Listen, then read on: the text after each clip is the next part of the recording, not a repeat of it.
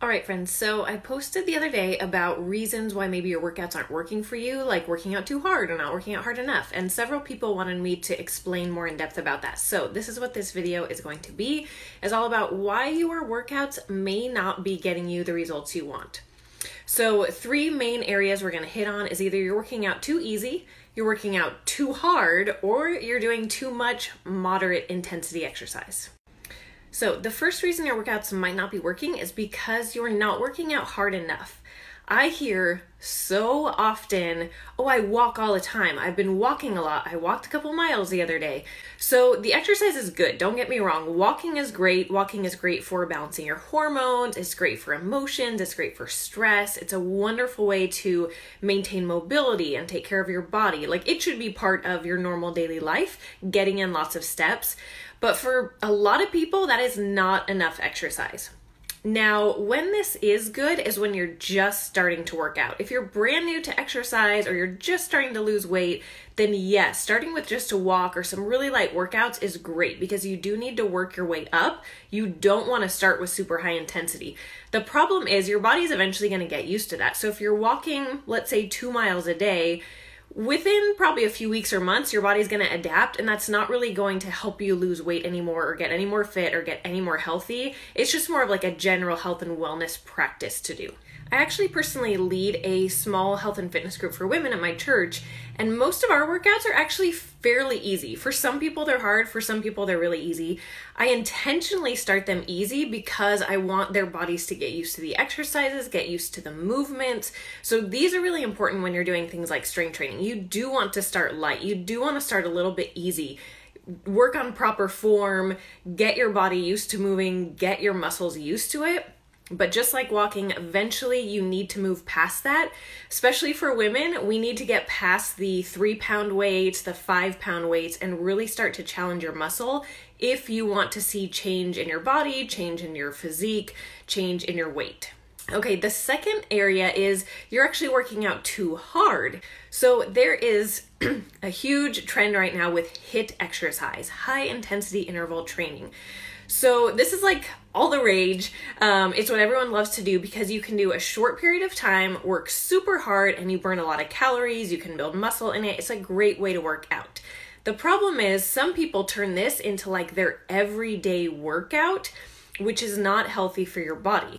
And one of the reasons this isn't healthy is because true high intensity exercise puts a lot of stress on your body. So it's going to increase your cortisol levels, it's going to increase recovery time. And if you think about it, if you're already like stressed out at work, you're stressed out because life is busy, you have emotional stressors going on in your life. So then if on top of that you're doing tons of high intensity exercise, your body is like in this constant state of stress, um, fight or flight, high adrenaline, and it's not healthy over time. It's going to mess with your hormones, it's going to possibly lead to like like adrenal fatigue.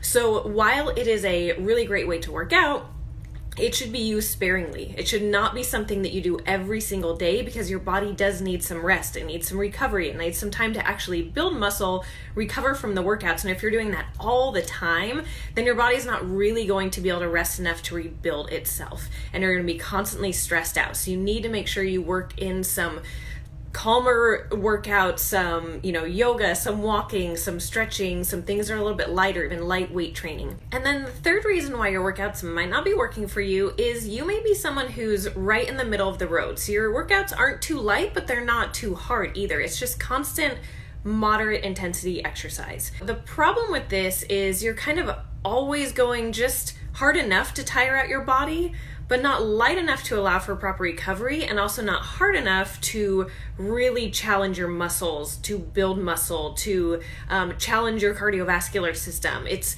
it's like it's not hard enough and it's not easy enough and so you're sort of in um, what endurance athletes call this like black hole zone where it's not really actually doing you that much benefit. And i think a lot of people do this. Maybe they go to the gym and they lift weights and it's kind of hard but not super hard and it's kind of easy but not super easy and so they kind of stay a little bit stagnant. Because that's not going to push and challenge your body enough to see significant adaptations and this would apply too to endurance type athletes. Like if you're running all the time and it's kind of hard like you feel tired afterwards but it wasn't extremely hard it wasn't like a sprint effort it was just a hard effort you don't want to be always in this zone of kind of hard So, what can we do about this? How can you make your workouts work for you? Well, basically, I would say incorporate everything that I've just talked about. You kind of want to build in some variety to your workout so that you have days that are really hard, like you're giving it all out effort, like think sprints if you're a runner, or hard plyometrics if you're an athlete, um, or weightlifting where you cannot get one more rep out at the end of your set. You're like grunting because it hurts so much, or it's so hard to lift or push or whatever you're doing. That type of intensity. And then you should have some days built in there too that are, you know, kind of hard. They're going to keep your body moving, they're going to keep your muscles fresh, but they're not going to be overly taxing to your body. But those like moderate, middle of the road exercises should be a little bit more, um, not as often as easy or really hard workouts. That's how you're really going to push your body and challenge it. So if you are more of an endurance athlete, typically what is pretty common to do is have about 80% of your training be really easy. Um, like you can carry on a conversation while you're doing it. Have about 20% be super hard, and then here and there you work in like the tempo runs or that type of workout where it's kind of like a race pace, um, if you can think about it that way. If you're more into like weightlifting or like the high intensity cardio type of stuff, that's fine to do, but how you kind of want to do it is with weight training you wouldn't go all out with chest presses or squats every single day. You will just trash your body. What you can do instead is do a really hard leg workout, and then maybe the next day you do a really hard upper body workout. And then maybe the next day you take more of an easy day where it's like some core work and some stretching and yoga or some walking or elliptical or something like that. And how you do this really should be structured. It shouldn't just be super random, willy nilly, whatever you feel like. You should have certain days that you know you're gonna go easier, do some lighter workouts, days you know are gonna be maybe longer, harder, more intense, and then days here and there that might be a little bit more moderate. So there should be a plan to this, otherwise known as programming. Um, but in short, I would just say when you're gonna go hard with your workouts, go really hard. When you're gonna go easy, go really easy, and try not to spend too much time in this middle of, of the road zone. You wanna make sure your body is getting rest and recovery, you wanna make sure it's being challenged enough, and you wanna make sure you're getting some good variety. So if you need more specific help figuring that out for you and what your goals are, please contact me. I'd be happy to help. I hope this helps you reach your goal faster.